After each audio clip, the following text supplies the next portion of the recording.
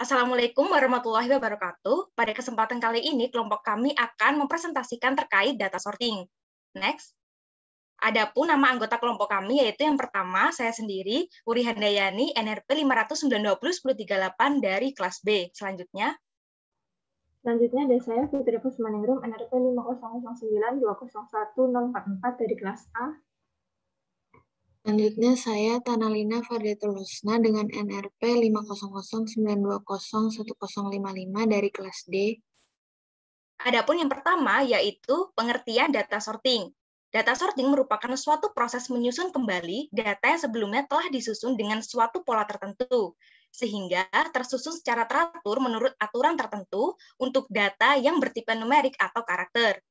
Urutan data tersebut dapat menaik atau ascending, yaitu urutan data yang disusun mulai dari nilai terkecil hingga terbesar atau menurun, yaitu descending, yaitu urutan objek yang disusun mulai dari nilai terbesar hingga terkecil. Next. Berikutnya, tugas nomor satu. Buatlah program untuk menginputkan sejumlah bilangan bulat, misalnya N, kemudian menampilkan bilangan yang sudah diinputkan tersebut dalam keadaan terurut secara descending. Algoritma yang digunakan adalah bubble sort. Berikut adalah algoritma dari persoalan nomor satu. Yang pertama, mulai. Selanjutnya, tentukan jumlah bilangan yang akan diinputkan. Yang ketiga, inputkan bilangan. Misalnya 23, 21, 24, 25, dan 20. Berarti itu ada 5 angka. Lalu kemudian bandingkan bilangan 1, apakah lebih besar atau lebih kecil dari bilangan 2. Jika benar, pindahkan bilangan 2 ke bilangan sisip.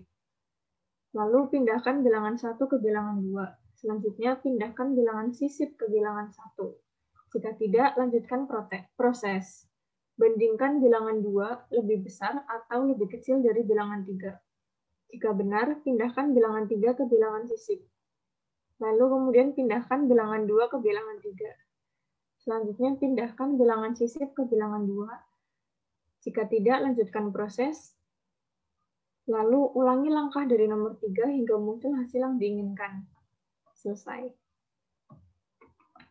Dan berikut adalah flowchart dari persoalan nomor 1. Selanjutnya adalah uh, coding program dari C++. Di sini kami mendeklarasikan I, J, dan N. Next, uh, program ini di gunakan untuk mengurutkan data secara descending atau dari yang terbesar sampai yang terkecil. Next. Selanjutnya, nanti kita diberikan untuk um, menginput beberapa data yang kita, sesuai dengan yang kita inginkan. Next. Selanjutnya, uh, dikeluarkan hasil dari pengurutan data secara descending atau berurutan dari terbesar hingga terkecil. Next. Untuk running program dari codingnya, uh, nanti kita disuruh menginputkan jumlah data. Di sini kita menginputkan 5 data. Next. Diinputkan data pertama nilai 23, data kedua 21, data ketiga 24, data keempat 25, dan data terakhir yaitu 20. Next. Selanjutnya menghasilkan dari bilangan urutan terbesar hingga terkecil, seperti pada tampak di layar. Next. Untuk tugas nomor kedua yaitu tuliskan program untuk mengurutkan dan mencari data dengan keyword NRP terhadap data mahasiswa yang setiap recordnya terdiri dari field NRP sebanyak 10 karakter, nama sebanyak 25 karakter, dan nilai IPK berbentuk float. Data diurutkan secara descending berdasarkan NRP Gunakan struktur data array of structure and algoritma inspection sort.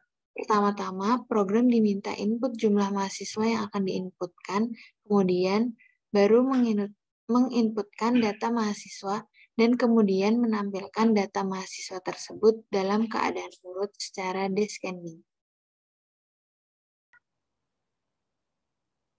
Selanjutnya yaitu ada algoritma dari persoalan nomor 2. Yang pertama mulai. Lalu masukkan inputan dua inputan berupa jumlah mahasiswa, kemudian data mahasiswa. Dalam artian inputannya berjumlah 2 atau I sama dengan 2.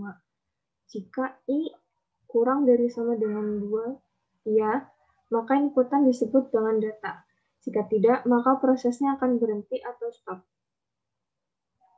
Tem kurang dari data J sebelum penyortiran atau urutan. Jika inputannya kurang dari ketentuan, maka program ini akan memintanya dengan coding J sama dengan J-1. Data J plus 1 sama dengan temp sesudah disortir atau diurutkan. Selesai. Lalu berikutnya adalah flowchart dari persoalan nomor 2. Selanjutnya, berikut adalah codingan dari persoalan nomor 2. Di sini yang kita inputkan yaitu yang pertama masukkan jumlah data mahasiswa. Lalu inputannya udah lagi tuh berupa nama, NRP, IPK. Lalu nanti si outnya berupa data setelah diurutkan. Nah, di sini terlihat ada running programnya. Setelah kita running, nanti tampilannya yang pertama itu adalah untuk menginputkan jumlah data mahasiswa. Di sini kita inputkan jumlah data mahasiswanya yaitu tiga. Setelah itu di sini kita langsung masukkan datanya itu seperti berikut, ada nama, NRP, IPK-nya masing-masing. Next. Setelah nanti kita inputkan data mahasiswanya itu, langsung saja nanti diurutkan secara descending. Jadi di sini diurutkan sesuai dari NRP yang paling besar hingga ke NRP yang kecil. Next. Sekian pembahasan dari kelompok kami. Kurang lebihnya mohon maaf. Wassalamualaikum warahmatullahi wabarakatuh.